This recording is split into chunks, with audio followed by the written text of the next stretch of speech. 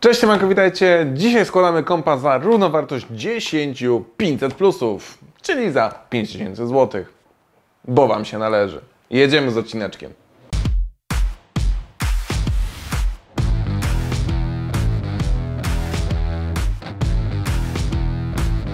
Tak więc moi drodzy, lecimy już z odcineczkiem, no i wszystkie komponenty tradycyjnie macie w opisie tego materiału, jak i cały koszyk, tak więc zachęcam i zapraszam Was do sprawdzenia opisu. A teraz lecimy już do procesora.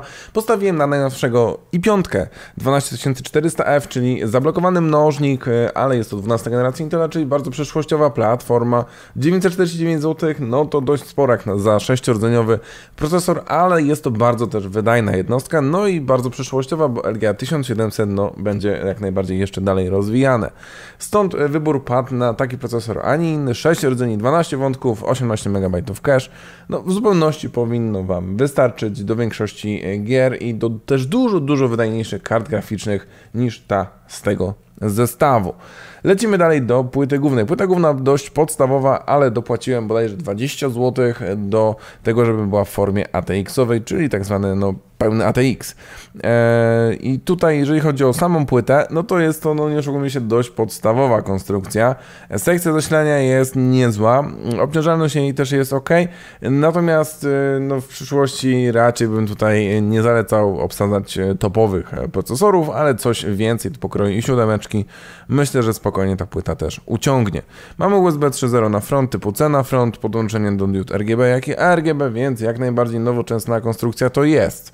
Natomiast na panelu wejść, wyjść jest dość biednie, bo mamy tylko 6 USB-ków, w tym USB-C.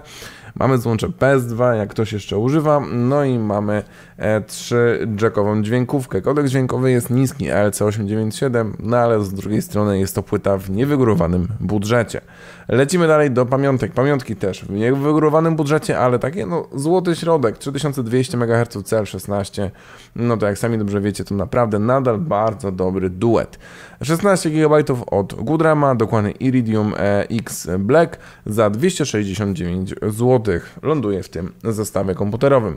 Lecimy dalej. Dysk Lexar 512 GB NM620 jest to model. E, nie jest to oczywiście najszybszy dysk na rynku, natomiast e, w zupełności Wam też wystarczy do takich zwykłych, codziennych zastosowań, jeżeli chodzi o M2. 500 giga, no bo niestety na nic y, większego nie starczyło w tym budżecie za 199 zł. To naprawdę moim zdaniem okazja. Lecimy dalej do zasilacza. No to klasyk nad klasykami, Velo L3 600 W. Można by wziąć 500, pewnie by też starczyło, ale stwierdziłem, że e, bierzemy tutaj 600 ze względu na karty graficzne, które mamy. No i żeby też nasz zasilacz nie pocił się jakoś specjalnie mocno podczas e, intensywnego grania. No i też zawsze można podkręcić jeszcze kartę. Lecimy do obudowy. Obudowa jest to najgorszy element moim zdaniem tego zestawienia komputerowego, gdyż tutaj trzeba było już bardzo mocno przeoszczędzić. Ventum VT2 TG RGB to nie jest najlepiej y, zrobiona skrzynka na świecie, no ale za 199 zł nic lepszego, moi, moi drodzy, tak czy siak nie znajdziemy. A ważne było to, żeby płyta, żeby obudowa wspierała płyty ATX-owe, bo takową też wybrałem do tego zestawienia.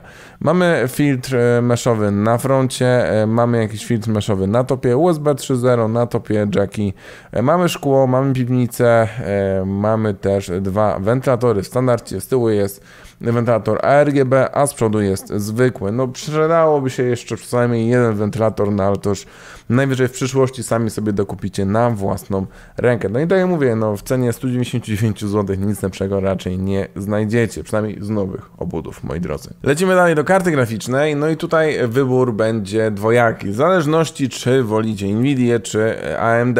Dla fanów AMD i dla tych, którzy by chcieli e, po prostu pograć sobie e, w ulubione tytuły z wyższym klatkarzem, które są pisane bardziej pod AMD, polecam w tym zestawieniu komputerowym za 10 500 plusów, jak to mówiłem na samym początku, Radeona RX 6700 XT Fighter. 12 GB VRAMu GDDR6. Nie będzie to oczywiście też najbardziej mm, cichy, najwydajniejszy Radeon RX 6700 XT, ale za to jest jednym z najtańszych a wiadomo, że to też się bardzo, bardzo liczy. Ogólnie karta moim zdaniem całkiem spoko, bardzo raczej udana konstrukcja, jeżeli chodzi o e, też e, sam e, układ e, GPU na, na tej karcie.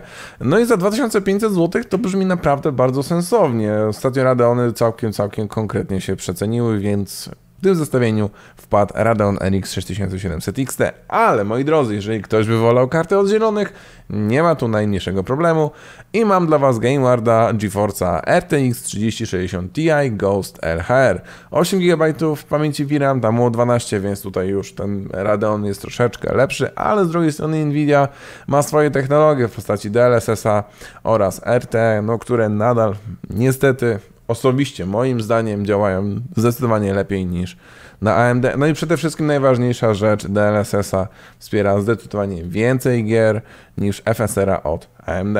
No cóż, tak to już bywa na tym świecie. Także, no karty są w tej samej cenie, y, bo 2499 zł e, do wyboru, do koloru, czy wolisz AMD, czy Nvidia. Tutaj, e, że tak powiem, pozostawiam e, Tobie, mój drogi widzu, decyzję zakupową. Obie karty polecam, bo obie karty są naprawdę dobre. No i cóż, cały koszyk prezentuje się tak, wyszło 5033 zł, no te 33 zł musicie już dorzucić, no nie ma opcji, nie ma z czego ciąć, że tak powiem, poza ewentualnie tam słabszym zasilaczem i MATX-ową płytą, ale naprawdę nie warto, naprawdę te trzy dychy już przy tym budżecie zdecydowałbym się dołożyć. Moi drodzy, piszcie, czy podobał Wam się ten zestaw komputerowy, w, oczywiście w komentarzach, jakim byście by złożyli komputer do 5000 zł. No czasy się fajnie zmieniły na korzyść oczywiście graczy. Mamy dobrą dostępność kart, mamy coraz niższe ceny. No i tylko, żeby płyty trochę potaniały i procesory, to wszyscy bylibyśmy jeszcze bardziej zadowoleni. No tak było. Nie zapominajcie o zostawieniu łapeczki w górę, subskrypcji na tym kanale, będzie mi niezmiernie miło. A w tym filmie to by było na tyle. Ja się z wami będę żegnał. Do zobaczenia, do usłyszenia. See ya!